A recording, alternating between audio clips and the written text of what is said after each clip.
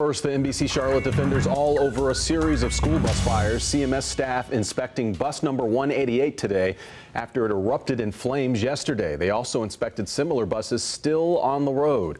Hello, everyone, and thank you for staying with NBC Charlotte. I'm Fred Shropshire. And I'm Sarah French. We're looking out for you, asking tough questions about what's being done to keep your kids safe. CMS told us today they're launching a five point plan over growing concerns. No buses are being taken off the road, but similar buses will be re-inspected and maintenance procedures reviewed. Defender Mark Boyle live at 5. Mark, part of this plan includes a criminal investigation now.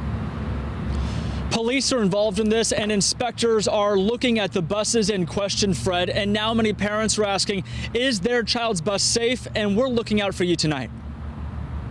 Investigators and CMS mechanics spent the day going through the charred remains of bus number 188.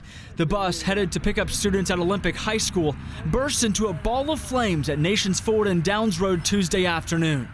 When the fire erupted near the engine compartment of the bus, emergency personnel responded and extinguished the fire in a short time. No students on board. The driver got off safely. But now a major investigation is underway to determine what sparked that blaze. Remember back in October, we reported on Bus 364 how it caught fire with at least 16 students on board? Well, it turns out both buses are the exact same make and model Thomas Cat 3126 model. This is the same make and model as Bus 364 which caught fire on October the 19th, 2017. CMS is at a crossroad.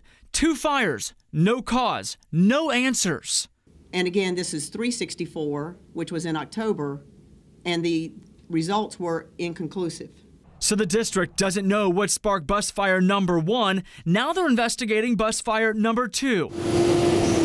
Of the more than 1,400 school buses on the roads managed by CMS, 259 or 19% are that CAT 3126 model now under investigation. I think they ought to uh, pull the buses before some before a child gets hurt or gets burned real bad. While the district, state inspectors, and Thomas mechanics work to figure out the cause, we found out police are involved, looking at possible foul play.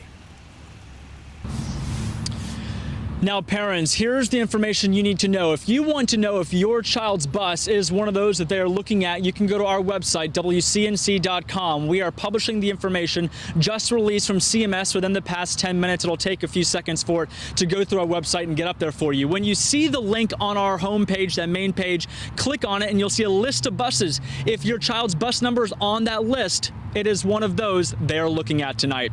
I'm Mark Boyle reporting live tonight. Now back to you. So disturbing, Mark. Hopefully this gets resolved soon. Thanks for that report.